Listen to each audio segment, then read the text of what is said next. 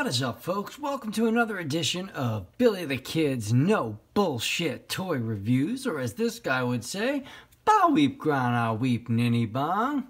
Uh, today we're going to take a look at KFC, Keith's Fantasy Club's Crash Hog, which is a masterpiece offering of Wreck-Gar from Transformers the movie, as well as Season 3 of the Generation 1 television show. This is a beautifully made figure it comes with a plethora of junk, accessories, all that fun shit. Comes in this box here. Very well done. Beautiful artwork. And has a window view. Also gives you a little bit of a bio. The artwork in this is absolutely stellar. Accessories, you've got this little bin thing that he bangs on. Cock-a-doodle-doo, happy motoring. Um, this thing opens up and you can throw other accessories inside for storage. He comes with TV. You took some TV? And now the news. Don't touch that dial. This axe here, which is something that he uh, used to fight Springer in the movie. This comes apart, pieces and all, and uh, they become the shocks for his motorcycle mode. So everything is used. I didn't open these, but he comes with a couple uh, rifles as well as the mirrors here for his motorcycle mode. He comes with a tech spec card and a comic book. Again, stellar art. The artwork in this is awesome. Just gives you a little story as to who these guys are.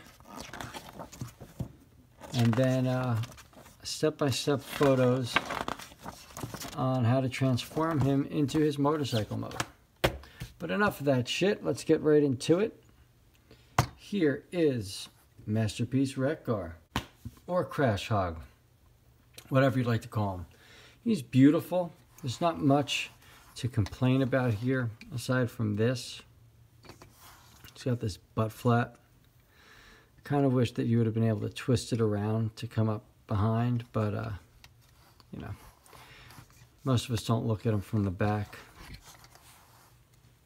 So from this view, he looks great. A lot of metal. Feet are die cast. Thighs are die cast. I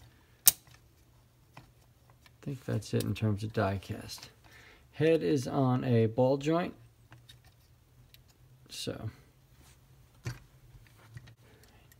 head's on a hinge, so you can turn left, you can turn right. He looks up, he looks down. These little handlebars here are posable, so you can have them disappear, or you can have them point out like antenna. Pistol tits don't have any attachment for blast effects, but they are there. Ratchet joints here at the shoulder for a full 360. Ratchet joints come up so far.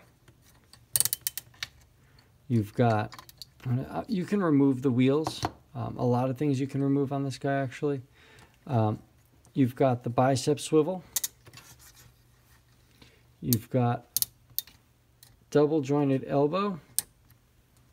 So excellent range of posability. You've got swivel at the wrist. Thumb is fully posable. These are the KFC hands. These hands are pretty stellar.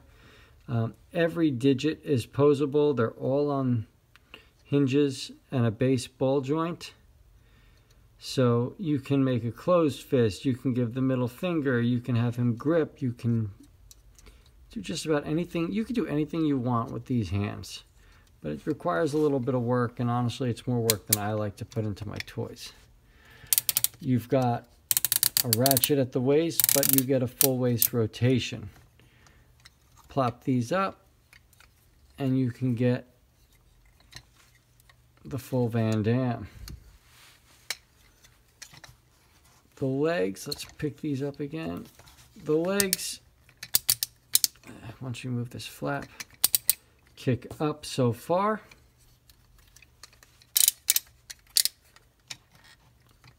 And only kick back so far. They've got a thigh swivel.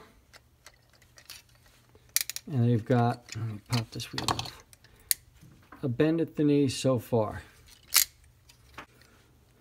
Uh, there is a bend at the foot. So the toes bend down so far, they pivot slightly.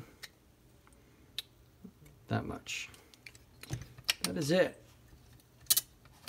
The spikes here on the shoulders and the knees are interchangeable. You can put them anywhere you want that has a hole on this. So if you want to put them in here, you can put them in here, put them up top, put them down low. You can pretty much customize him to look any way you wish. He scales beautifully with the other Masterpiece Transformers figures.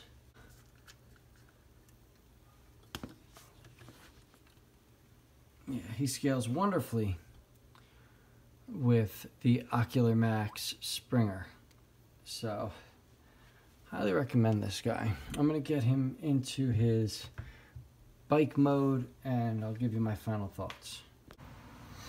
Alright, so here we have Crash Hog in his motorcycle mode. He looks good from this angle.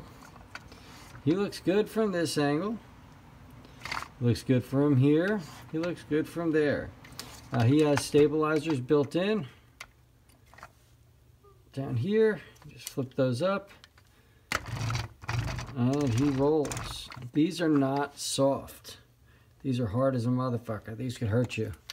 But everything spins nicely. Um, if you don't want to use the stabilizers, you can stand up in bicycle mode without them. All in all, this guy's pretty fucking awesome. You can get him uh, just about anywhere. Uh, I got mine from my sponsors at the link below, Big Tin Robot Toys and Collectibles. Do me a favor, check out my Patreon if you like what you see. Support me, help me buy shit I don't need so you can decide if you need it. As well, give me a like and a subscribe. I greatly appreciate it. This is Billy the Kid signing off.